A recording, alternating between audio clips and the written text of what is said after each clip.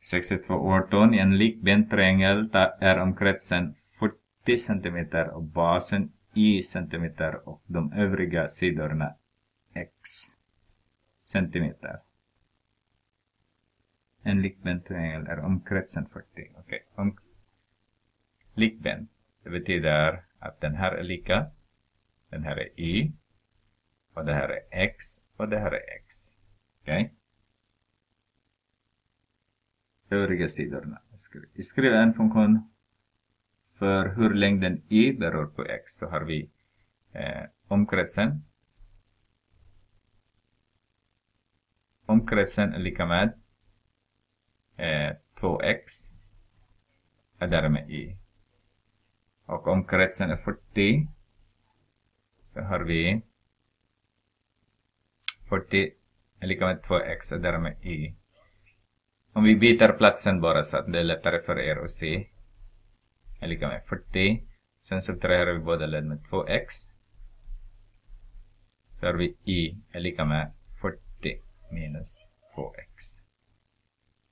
Där den eh, skriv en funktion för hur längden y beror av x. Ja, det betyder att den här eh, y beror av hur lång är x är. Hur lång x är. Mm. B. Vilken är funktionens definitionsmängd? Är B då frågan. Eh, ska vi titta.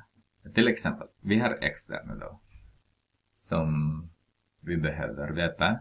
Till exempel, om jag har eh, längden här. Om jag säger att längden här är 2 och längden här är 2.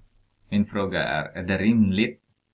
Kan jag ha jättelång så här och sen bara två och bara två.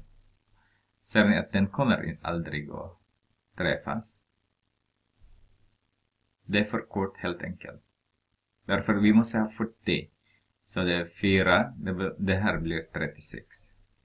Så det går inte. Om vi tar 5 då, lite längre, lite längre där. Hur lång är den här nu då? 10, 20. Det går inte det än fortfarande. De kommer inte träffas. Men, där träffas de när 10, 10 och sen 10 här, 10, 10, 10. Då träffas de. Mm. Inte, mer, eh, inte mindre än så i alla fall. Det går inte, den kommer inte träffas. Det blir ingen triangel. Så den måste vara större än 10. Men sen, jag kan ha jag kan ha jättelång så. Till exempel den här är eh, 19 och 19. Det här är två bara. Det går ju. Men om jag ska ha 20 nu då, 20 här, 20 där, den här blir 0. Så jag kan inte ha 20 heller. Så jag kan inte ha 20, så det måste vara mindre än 20. Så vår definitionsmängd, jag har glömt definitionsmängd, är från 10 till 20. Alltså sidorna. Eh, de två lika.